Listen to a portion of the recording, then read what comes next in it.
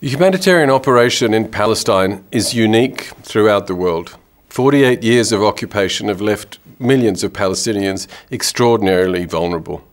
Our operation, first and foremost, responds to a protection crisis, to the need to make sure that Palestinians have access to legal advice, uh, that there is a monitoring that their rights are not violated, that unexploded ordinances are removed safely from the rubble of, of Gaza, that the children receive psychosocial support after 10 years with three rounds of hostilities. First and foremost, then, this is about protection.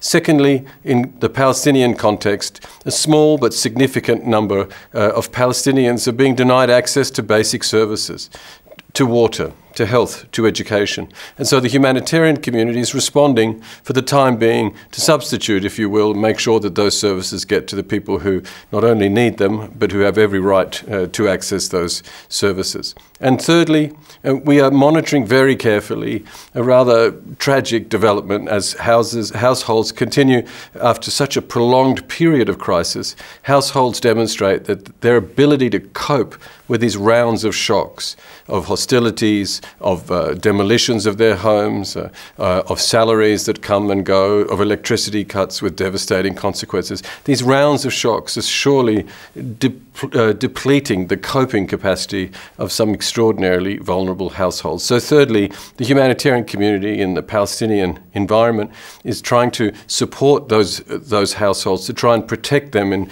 their ability to cope with these shocks and to try and uh, prevent them from taking very negative coping strategies that will have irreversible harm on the trajectory of their, of their family.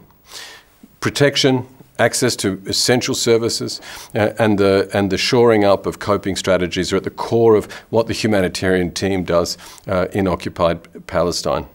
Overall, it's got to be clear that this is not a substitute for a political solution. Humanitarian responses save lives, uh, but they also they buy time. They buy time for long-term political solutions to be found.